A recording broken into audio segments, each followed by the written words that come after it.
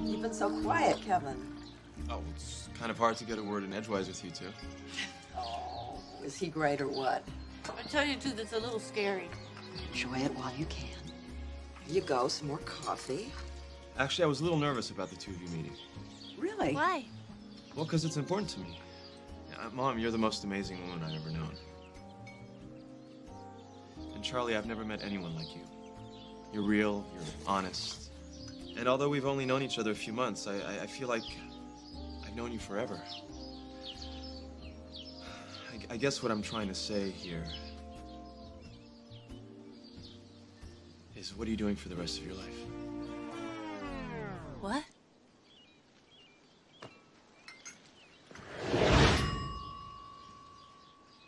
Oh, my God. Charlie, will you marry me?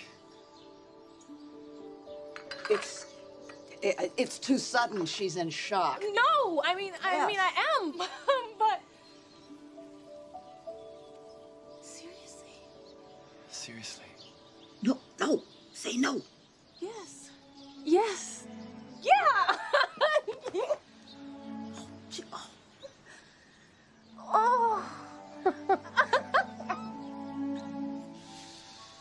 so happy for you.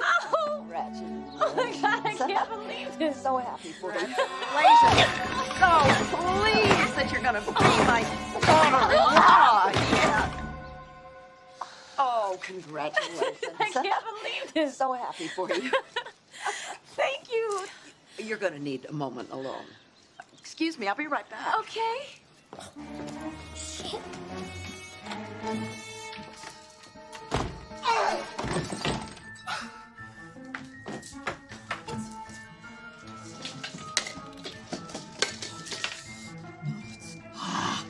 14% alcohol.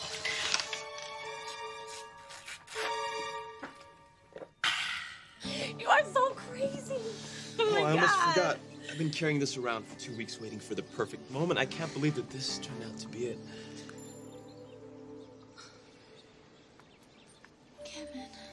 Try it.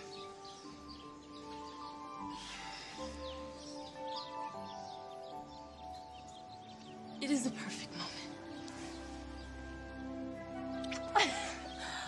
Maybe you should go check on your mom. Oh, no, she's fine. She's probably calling all of our relatives.